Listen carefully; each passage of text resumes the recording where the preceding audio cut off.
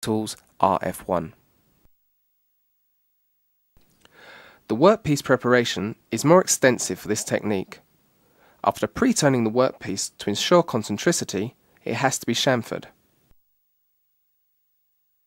If the knurl is to start in the middle of the workpiece, a groove is required. As a next step, the center height is adjusted. Center height is integrated for all Zeus knurling tools suitable for CNC lathes.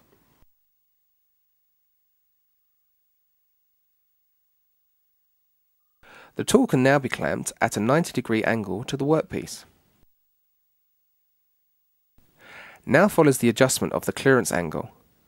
As can be seen, this requires the tool to be brought into contact with the workpiece. The knurling impression on the workpiece should now correspond to about a third of the knurling wheel's width. A correction of the angle can be made by the use of the setting pins. The clearance angle should now be adjusted correctly. We now have to define the zero position of the tool.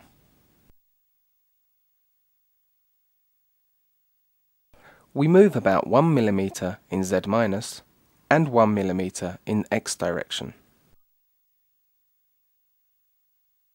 As a last step, the profile depth needs to be set correctly.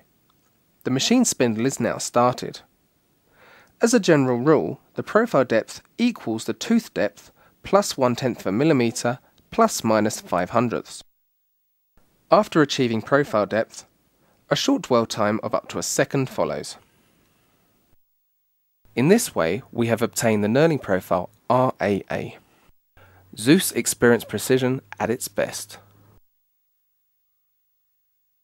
Frequently, an error in knurl straightness is caused by the parallel position of the tool head.